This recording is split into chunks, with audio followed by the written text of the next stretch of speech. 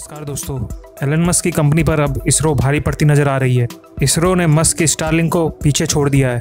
देश में star internet को लेकर एक बहुत बड़ा ऐलान किया गया है। स्पार्को क्या है?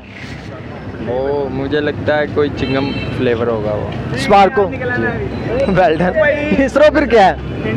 इसरो कोई पार्क का नाम होगा या किसी पिंड पिंड वगैरह का लगता है मुझे तो। किसी गाँव का नाम है? किसी गाँव का नाम। पढ़े कहाँ तक हो बी ए। हैं? बी ए किया वेल डन शाबाश थैंक यू इसरो क्या है? स्पार्को बताओ क्या है? स्पार्को स्पार्को क्या है? स्पार्को क्या है? स्पार्को क्या है? स्पार्को क्या चीज़ क्या है स्पार्को वही तो मैं पूछ रहा हूँ क्या चीज़ है स्पार्को स्पार्क एक बिजली का स्पार्क भी है। ओके। ऐसे स्पार्को क्या है? ऐसे स्पार्को यानी कि अगर बिजली का स्पार्को आपके ख्याल में क्या हो सकता है? यार स्पार्को बिजली का स्पार्क भी है कुछ भी हो सकता है शॉर्ट यानी आपको मालूम नहीं है स्पार्को के पक्का क्या है? इसरो क्या है? इसरो?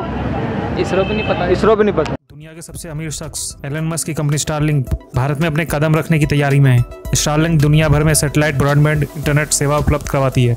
लेकिन भारत ने सैटेलाइट इंटरनेट सेवा के मामले में भारतीय अंतरिक्ष अनुसंधान क्षेत्र, यानी कि इसरो ने स्टारलिंक को पीछे छोड़ दिया है। अब ये खबर आ रही है कि इसरो की मदद से देश में सैटेलाइट इंटरनेट सेवा उपलब्ध कराने की तैयारी हो रही है। अमेरिकन कंपनी ह्यूजूस कम्युनिकेशन और भारतीय दूरसंचार ऑपरेटर भारतीय एयरटेल ने भारत में अपनी पहली high speed satellite broadband internet सेवा शुरू करने की घोषणा की है। ये सेवा पूरे भारत में सुदूर इलाके में इंटरनेट सेवा देगी। इस सेवा को प्रदान करने के लिए दोनों कंपनियाँ इसरो के जी सेट इलेवन और जी सेट ट्वेंटी नाइन सैटेलाइट का उपयोग करेगी। इसरो के अध्यक्ष डॉक्टर एस सोमनाथ ने कहा कि इसरो में हम लोगों के जीवन को बेहतर बनाने के लिए प्राइवेट क्षेत्र के साथ काम करने के तरीकों और की खोज और विस्तार करने के लिए प्रतिबद्ध है। यूजीएस कम्युनिकेशन इंडिया देश में दो लाख से ज़्यादा कमर्शियल और सरकारी साइटों पर सेटेलाइट ब्रॉडबैंड सेवा प्रदान करती है। कंपनी उद्यमों के साथ केंद्र और राज्य सरकार की परियोजना को भी सपोर्ट करती है। इसरो ने साल 2018 में भारतीय ग्राहकों को हाइयर बैंडविथ सैटेलाइट कनेक्टिविटी प्रदान करने के उद्देश्य से जी सेट इलेवन और जी सेट ट्वेंटी लॉन्च किया था। दिसंबर 2018 में जी सेट इलेवन की लॉन्चिंग के बाद इसरो के पूर्व अध्यक्ष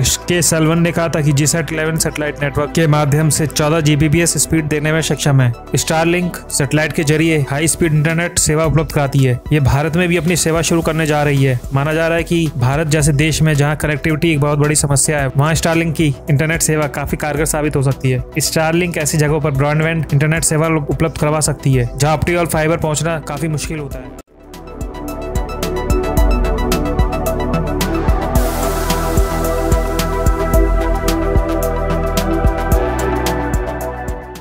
वो बोस पार्को क्या है?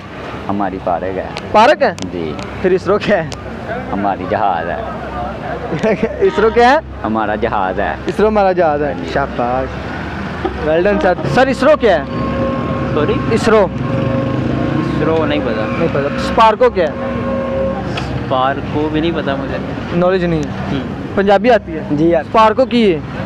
स्पार्को का तो नाम सुना कभी? ਨਹੀਂ ਸੁਣਿਆ ਨਹੀਂ ਬਾਕੀ ਕਦੇ ਨਹੀਂ ਸੱਚ ਕਸਮ ਹੀ ਤੈਨੂੰ ਕਸਮ ਨਹੀਂ ਸੁਣਿਆ ਤੈਨੂੰ ਨਹੀਂ ਪਤਾ ਨਹੀਂ ਪੜਨ ਵਾਲਾ ਨਾ ਮੁੰਡਾ ਹਾਂ ਇਹ ਪੜਨ ਵਾਲਾ ਕੰਮ ਕਰਦਾ ਯਾਰ ਪੜਿਆ ਤਾਂ ਉਹਨੇ ਤੁਸੀਂ ਦੱਸ ਦੇਣਾ ਬੱਚੇ ਨੂੰ ਮੈਂ ਵੀ ਦੱਸਦਾ ਤੁਸੀਂ ਦੱਸੋ ਸਪਾਰਕੋ ਕੀ ਹੈ ਸਪਾਰਕੋ ਕੀ ਹੈ ਕੀ ਹੈ ਪਾਰਕ ਦਾ ਨਾਮ ਹੈ ਹੋਰ ਪਾਰਕ ਦਾ ਨਾਮ ਹੈ ਨਾ ਪਾਰਕ ਇਸਰੋ ਕਿਹੜੀ ਪਾਰਕ ਦਾ ਨਾਮ ਹੈ इसरो केड़ी पार्क है इसरो केड़ी पार्क है दस अगे अगे नहीं अगर स्पार्को पार्क इसरो केड़ी पार्क है सपारी पार्क सफारी पार्क है इसरो केड़ी पार्क मैंने भी नहीं पता बहुत इसरो है वैसे पार्क है ना ਨਾ तुझे दस दो सानू नहीं स्पार्को क्या है? स्पार्को इसके बारे में मुझे नॉलेज नहीं है स्पार्को ओके कंपनी है क्या? कार कंपनी है कोई? नहीं। तो का लगाओ?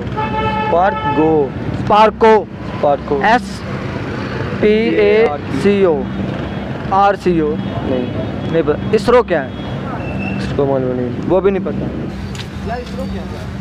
इसरो क्या है? इसरो। इसरो क्या है? नहीं पता चलो स्पार्को